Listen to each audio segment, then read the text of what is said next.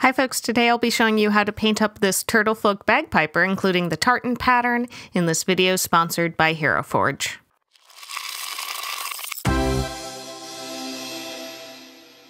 So I got this in the premium plastic and I primed it all in black and I'm going to start off with Waagh! Flesh to get the green of the skin. When I saw the turtle folk and especially the bagpipe option, I knew I had to do this combo partially inspired by a character from a popular uh, D&D streaming game. I'll give you two guesses on what that is. Uh, but I wanted a little bit more of a traditional Scottish garment, so I'm doing this white shirt along with the traditional tartan on the uh, pattern. So I'm going in with a mixture of Waagh! Flesh and Elysian green to get the skin tone on the turtle to give a little bit of highlights here and there. I mixed it together so that it wasn't uh, quite as much of a contrast between the two colors. And then I'm going through with uh, Coelia Greenshade just to um, bring in a little bit more dimension with this shade, especially on the feet where there's those great sculpt on the scales of the feet here. Uh, and then it also helped to bring out a little bit of the textures in the face and the head. Now I'm going to go back in with uh, Waagh! Flesh and Elysian Green to just really highlight a little bit of the facial features. I also brought this down onto the hands and a little bit onto the feet to bring out kind of the high points and uh, uh, accentuate the scale aspect of the hands and feet.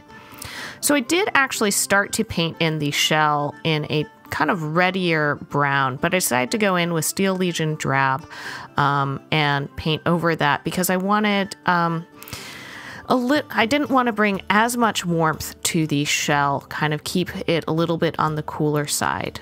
So now I'm dabbing in um, just kind of with a stippling effect, Elysian green, in order to bring a little bit more of that kind of um, reptilian skin texture to especially the smooth part of this head.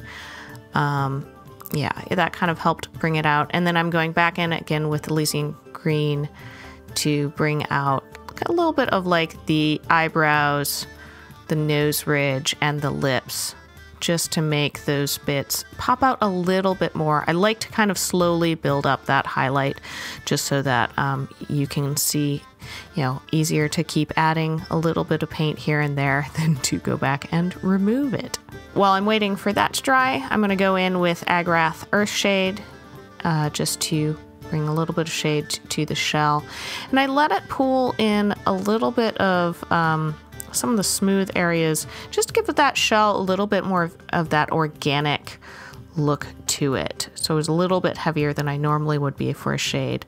I'm going in with Karak Stone and I've watered this down a little bit uh, and kind of dabbing it on, doing a little bit of stippling. I decided to actually water it down a little bit more, kind of tested it out on my finger there and getting in. And then I'm kind of dabbing it off. And I found, you know, you can do this either with a little bit of towel or just with your thumb, like I'm doing. I found that gave it a little bit more of that organic look that, you know, shells have. They don't have those straight lines, it's a little bit more squiggly um, kind of look to it. And I'm really focusing on the top of those shell bits. Before I get into the tartan, I want to thank the sponsor of today's video, Hero Forge. Hero Forge offers dozens of different species along with hundreds of items and clothing options. You can really make your own fully customized miniature here and get it 3D printed and shipped to you so you can paint it up, or you can use their color options if you want to forego painting but still want to have a color miniature on your table. So if you are looking to build your own custom miniature today, head on over to heroforge.com and start building. All right, let's get back to the painting tutorial. To start off with the kilt, I am going to uh, base in with Kantor Blue. I thought the blue would be kind of a nice contrast, um, accent, uh, complement, that's the word I'm looking for, to the green of the skin tone. Um, so I'm kind of keeping mostly in the cooler colors on this miniature, uh, but allowing like the shell and the floor, and also we'll do the magic in a little bit of a warmer color. So I'm coming in with a um, not a super fine brush, but a brush that has a very nice tip to it uh, in Caledon Sky. And I'm starting with the vertical kind of stripes to the tartan and painting those on. Um, and I'm letting these be a little bit on the thicker side, and then I'll actually go in and do a thinner um, kind of checkered pattern here. So I'm being very careful and kind of paying attention to how the fabric kind of folds. I find starting with the vertical, you can kind of find those vertical lines and paint that around um, and then go in and add the horizontal lines. Now, if you wanted to do just kind of a um, more checkered pattern, you could stop here and have that, but I wanted to go kind of for the full tartan effect. So once I get all of the kilt done along with bagpipe bag, I will go in and add a second color to kind of add that additional tartan look to it. So there you can see, yeah, that's already starting to look, um, add quite a bit of kind of pattern to this. Now I'm going in with Warpstone Glow uh, with the same brush. It's got that really nice tip and I liked using a little bit of a larger brush just because it will hold on to the paint but you really want to make sure that you have a nice tip and kind of uh, twist it as you're getting the paint off of your wet palette uh, to help maintain that tip and just a very light touch. Um, you know, it's better, I find it's better to go back to get more paint than to load it up and suddenly have a big blotchy uh, spot. So I actually, for this one, decided to start with going the horizontal lines because I had these guides of the previous lines in there already. So I just kind of started with one line, followed it all the way around, and then I will go through and do all of the vertical lines as well. Uh, and that will give us that tartan look. So you can kind of start to see it there. And now we're going in and I'll show you kind of how to do the vertical lines. Uh, and I find it's easiest to draw lines pulling the paintbrush towards me. Um, so that might, you might find that easier as well. So th there you go. You can see that definitely starts to give it a nice look. And now just to add a little bit of, um, a little bit more dimension to it, I'm coming in with Drakenhof Nightshade. And I'm being careful to really not put this on too heavy so that it covers up all of the work that I've done, um, but to really kind of just allow it to sit into those crevices. And yeah, that can really start bringing it out. So instead of leaving the vest black, I decided to lighten it up just a little bit. Uh, I mixed black and a little bit of light gray to kind of get a medium gray and painted that all in. Just kind of being very careful not to mess up the pattern area and going back in with light gray to touch that up.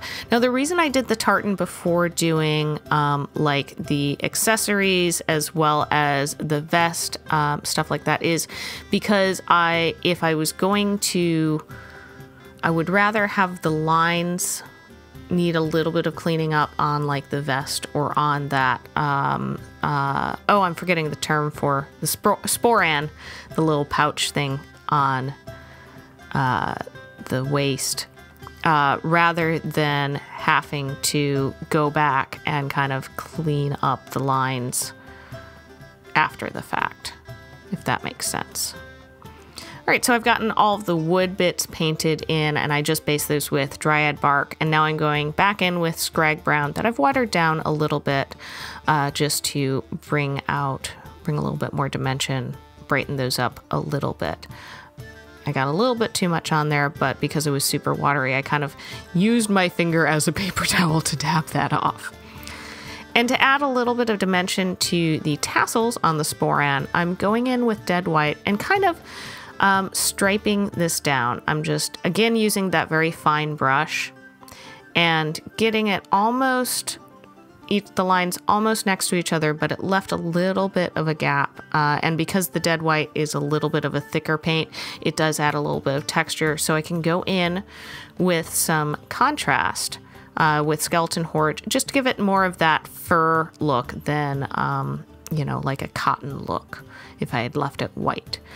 Now to do the magic effect coming off of this bagpipe, I'm going to base in with Yriel Yellow. I actually did three layers of this. Um, uh, just because yellow is a paint that um, just it is not as heavily pigmented so you're going to need a couple more layers to get a really nice opaque uh, look and then I'm going in with contrast in Terradon turquoise to get kind of this cool greeny, magicy effect. I like using the contrast over other colors for magic effects because it gives a cool look.